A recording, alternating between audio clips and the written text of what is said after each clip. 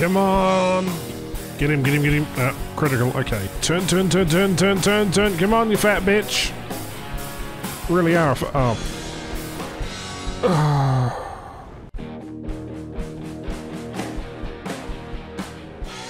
This happens to be possibly the worst Operation Summer event vehicle that I have ever gotten my hands to test drive or fly. I was really excited for this aircraft. It's got a unique history. Unfortunately, it's probably for the better. This thing had an incredibly short service life in the real world, and I expected it will in War Thunder. It's basically did an arrival here, and it's 0.3 battle rating higher than a better aircraft, the F-11F, which again is a much better uh, airframe than this one what you're getting here is basically an A4 Skyhawk that can carry AIM-9Bs, right? And it can also carry uh, Mighty Mouses. There's no customizable loadout for this machine. There is no countermeasures. This thing is basically a very heavy A4 Skyhawk, but with an afterburner, as I said before. The only saving grace really comes out of the cannons that this thing has, the Colt Mark 12s. Though it's only got 260 rounds of ammunition, it is a little lackluster. And the radar is a nice addition, although its usability in game is probably subject to debate, considering it doesn't really have the greatest missiles out there. And should I mention, this thing has a ridiculous repair cost of 20,000 Silver Lions. Yeah, a machine that isn't exactly starting off on the right foot. Speaking of which, let's try and make this machine work its arse off. Well, we can't really work its arse off when you do negative 2 Gs. Yep, that's right, this thing has the same wing ripping issue as any of the A4s, and it feels incredibly sluggish. Trying to outdive and just run away from an enemy there, we're going to end up by death spiraling and trying to recover rather slowly. Now, I don't put a, a missile out on this Yak 38, however, he'll easily avoid it due to the missile arc being a bit too low. Watch this doing 970 kilometers an hour, it's not pulling up. And this is typical even when I don't have the, the left wing, uh, or a hole in my left wing as well, I should say. Yeah, this thing's elevator is incredibly poor, and with no countermeasures, too, makes dogfighting a pain in the ass. Alas, we are making our way back to the airfield, although that MiG-21 does look a little bit juicy. So we'll try and curse this thing and coerce this thing to move towards that MiG-21. Alright, he sees that we're turning him towards him now, so let's see if we can actually get a bit of a turn going. Even with combat flaps, this thing is utterly horrible. As you see, I'm sort of really struggling with the airframe here. Give it a good old spray. And, well, that SPSK says good night as we go back and potentially uh, make it back to the airfield, who knows. Now, it does have an air brake, which is fairly useful, but again, it is really subject to, you know, a situation where you absolutely need it. For example, like landing on an airfield where you might need a bit more speed or you might need a little less.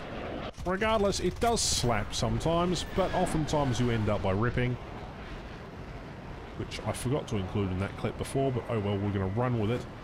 Now the missiles, they can oftentimes surprise blind players, like for example this Milan here. Sometimes you can slap with that one, and other times you get really good matches depending on, well, your teamwork. Now because it has a decent top speed and a very good climb rate, this machine is particularly interesting. More of an interceptor.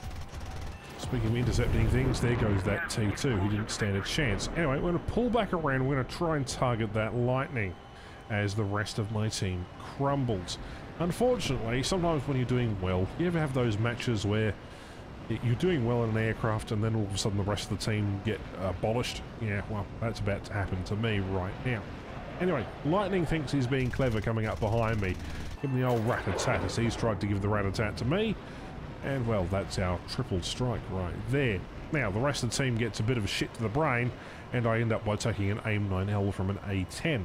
Speaking of A-10s, this thing is particularly good at taking out A-10s. Yeah, go figure. Mind you, I think any aircraft can really take out them. Anyhow, I wanted to show off this double kill here with the Sea Vixens, as uh, they do try going head on. Nice try there, buddy. Not quite that stupid, though. I like my head-ons, but I also don't like my head-ons. So, let's try and get this guy from a different angle. That's a good angle, I reckon. Set him on fire and cause him to burn. Hopefully he'll burn out soon, or else not, I'm going to have a missile for him. There we go. Yeah, fascinating aircraft this one is. Unfortunately, when going for a dive on the A4, I get surprised by something around my 6 here. Yeah, I've got no choice but to loop back down. That A4 has infinitely more manoeuvrable than I am, even though this thing is quite manoeuvrable at lower speeds. Its um, high-speed handling is atrocious as well. It really doesn't really do anything. So there we go, rip wing. Classic mistake right there, and then, well, I may as well just sacrifice it all, go head on with an A4. Right, I don't want to be in this match anymore. I'm not going to fly with a, a, a dead uh, left wing. Next game, killing a Jaguar here. Goes to a bit of a flat spin, pulling out, then again rip the wing at negative 2 Gs. Yeah, in fact, I didn't rip there. What actually happened was a missile from an A5C basically clipped me, and then here, there's his second missile. Now, G91's being a bit special. There's match. There we go, get a kill on him. And I wanted to showcase this. Ah, oh, tree! Because flying through a tree and getting a critical hit wasn't enough. Let's go take out a MiG-21. Now, I love the guns in this thing. Absolutely fantastic. The placement of them at 400 targeting distance is beautiful. Now, the fuel, I tend to take about 20 minutes on average, depending on what the match is. On larger maps, you know, 24 minutes is good, but anyway, coming across this SU-7, he has no idea I'm here. We're just going to give him the rat of the guns. It's just so much more easier. And uh, last clip today is an actual decent dogfight. There are three to four enemy aircraft behind me and are rolling around me in this sort of twirl. We do take damage in our left wing. As you can see, it's incredibly easy to take damage. Trying to hit that Yak 30 I want that Yak 30 dead. I didn't waste a considerable amount of my ammunition there. Pro tip when using this thing, I found it out after uh, playing this match. You can use the weapon selector to select one gun at a time, thus saving a bunch of ammunition. Anyhow, I'm to hit the ground there. He doesn't know that, but uh, rip his wing. Basically, flying off.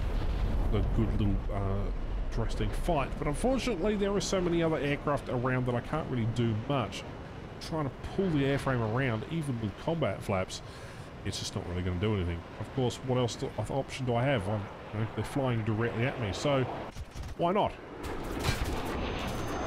Yeah. This thing is utter garbage. I mean, I'm sure it will get better. Is it really worth your effort, though, and worth the grind? I'm not entirely sure it's something that I, I, I, was really, really excited for, and I feel like after the, the 20 matches that I've played in this machine, I haven't really Im improved due to the fact that it's incredibly likely that you'll rip your wings, or some other extraordinary event will actually happen, causing you to crash into a tree or some something like that. Again, no countermeasures makes this thing a bit of a pain. It doesn't turn particularly well unless you are at very low speeds. It is a carrier-based interceptor, which apparently the US Navy didn't need, so there's that. And with 20,000 Silver Lions uh, to repair this machine, is it worth it? No, it is certainly not. And I mean, I know this has been a short 8 minute video, but this thing is god awful. And even worse than the Operation 2020 vehicle, which was the F 11F Tiger. Yeah, that thing was fun and interesting when it came out. This at 9.3 is a bit of a struggle bus, and though it doesn't really sit anywhere else because you can't really put it at 8.7 because it will probably dominate at that kind of battle rating. Even 9.0 wouldn't be good enough for this one either. It's sort of in a weird place because of its radar, and I think that's why they've put it up there. Considering its flight performance and its insane climb rate, it's it's rather disappointing to see. I feel like that had it had more guns, more ammunition, it would have been fantastic. Uh, and the rate of climb is really the only thing to talk about of this machine. Everything else is rather iffy and does compromise an overall very interesting aircraft that could have been a bit better. Well, I guess it's a true example of what it is to its real life counterpart. Right, I'm off to play 30 more matches in this machine to try and understand if I can actually get a decent game in it. My name is Ash, thank you very much for watching, and I'll catch you in the next one. Bye bye.